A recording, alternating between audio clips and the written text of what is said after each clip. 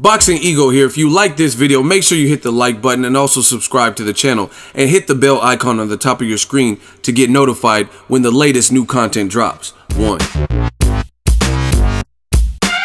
What up, Fight World? It's your boy Ego, and I'm back with some more boxing. Make sure you smash the like button, also subscribe to the channel for the latest and the greatest in boxing. If you want to become part of the Gang Gang notification gang, please hit the bell icon. Shout out to the super chats, the channel donations, and the Patreon family on everything I love.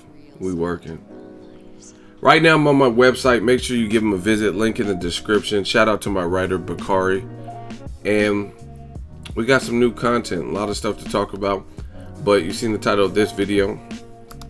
And Sergey Kovalev and his team are in talks with Sullivan Barrera's team to possibly make a fight this year in 2017, which I I want to talk about, and I, I love this idea, right? I love this idea of this particular fight.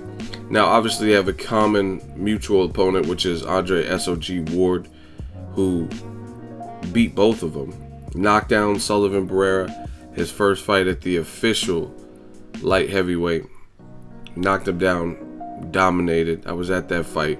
I was at both of the Ward Kovalev fights. And Ward, I had him winning the first one, but it was a lot tighter.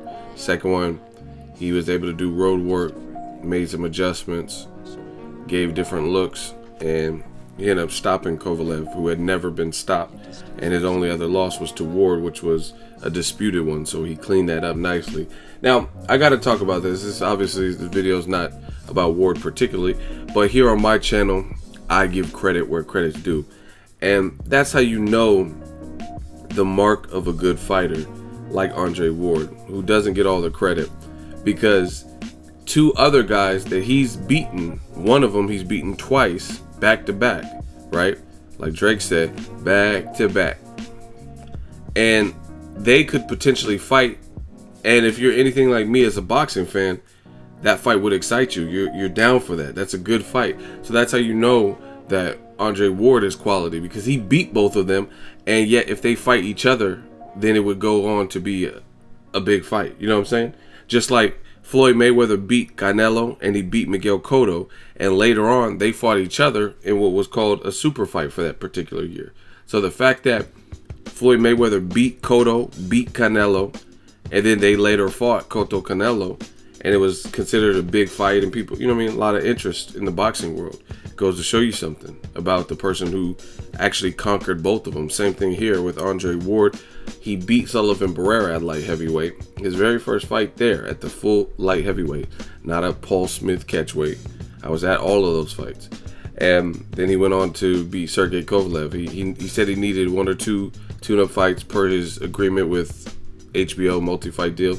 And now they're in talks, and I like that fight. I think it's a very good fight for Sullivan Barrera and also Kovalev. Now, Kovalev, if you guys know your boxing history, Kovalev was the IBF champion, and his number one mandatory was Sullivan Barrera. Andre Ward stepped up to the plate and eliminated Sullivan Barrera by beating him.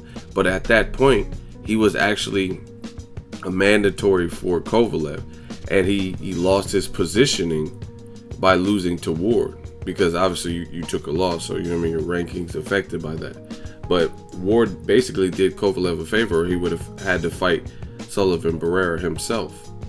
Now some things have changed. Kovalev just got stopped. People don't know where his confidence is at. He has two back-to-back losses, so he no longer has a perfect career. Sullivan Barrera has one loss to Andre Ward, as I mentioned, but he's done some things in there at light heavyweight to work himself back towards a title shot. He beat Shabransky, Vyacheslav Shabransky, who's with Golden Boy, who's undefeated, considered a big puncher, things like that. He beat him, knocked him down. He got knocked down, but he knocked Shabransky down, I think, three times, right? Three times. Went on to stop him and derail his plans. Shabransky would later spar with Canelo for the Chavez Jr. fight. And then after, he just recently beat Joe Smith Jr., which I consider to be a, that was going to be a real good fight. You know what I mean? And Joe Smith Jr. got his jaw broken in the fight. Didn't necessarily put up the performance that some people thought, even though he did knock down Sullivan Barrera. He's a big puncher. So, um, if Kovalev meets Barrera, the timing makes this very, very interesting. Like Kovalev, when he was undefeated, he was a hard man to beat. Now, I don't know. You know what I mean? Boxing is all about timing. Sometimes it's when you get a guy. I, I really don't know. Like you know what I mean? Like like I said, if if if Kovalev was undefeated, he was very hard to beat. But now back to back losses after you talked all that shit in the rematch and made a million memes about Andre Ward, now that that makes this fight still very interesting because it's a dangerous fight for Kovalev as far as I'm. It's a dangerous fight for both, but definitely Kovalev because they're big punchers. Now, Sullivan Barrera said, I'm in a moment in my career where I'm interested in big fights. I would love to face Kovalev. A victory over him would be important not only in the personal prize section, but also because of the possibility that it would open me up to continue growing in the sport. I just hope the negotiations will come to fruition. And that's from Sullivan Sully Barrera. He said, We are in negotiations with main events to possibly face Kovalev this November at Madison Square Garden. I am preparing for whoever, Kovalev or Adonis Stevenson. I trust the work of my manager, Luis Molina, and we hope that something good will happen in my career in the coming months. So, I mean, I'm pulling for this. I, I think it, like I said, it's a good fight. It's not by far, it's not a give me. I'm not saying like Sullivan Barrera beats Kovalev, but the timing, the timepiece is very interesting to me because, I mean, no matter who Kovalev fights next, I'm going to watch it because I, I want to see how he looks. I want to see if he looks like the same crusher. Different people bounce back different. That's just the best way to put it. Pacquiao took some early career loss. See, and that's the thing. Pacquiao took early knockout losses in his career. So it was when his body was young, his mind was young, you know what I mean? So he just chalked it up as maturity. Oh, I lost to Rustico Torrecampo, you know what I'm saying? And he later went on to do good things. But Kovalev is probably 30 something, right? So I don't know. The whole aura of invincibility is not necessarily there because he, he just got stopped by Andre Ward. So very interesting fight. I support it 100%. I think it's a good fight. I think either guy could really win. I mean, Sullivan Barrera in his last couple of fights, he's been dropped. He got dropped by Andre Ward. He got dropped by Shabransky. He got dropped by um, Joe Smith Jr. And he fought somebody else in between there on HBO. I don't think he got dropped in that fight, but I don't even know who the person was. Like this, that's how low level it was in terms of names in the division. But very good light heavyweight fight. 2017 to me has been a phenomenal year, and I hope they get this done. I think they should be able to get it done if both parties are like um, realistic.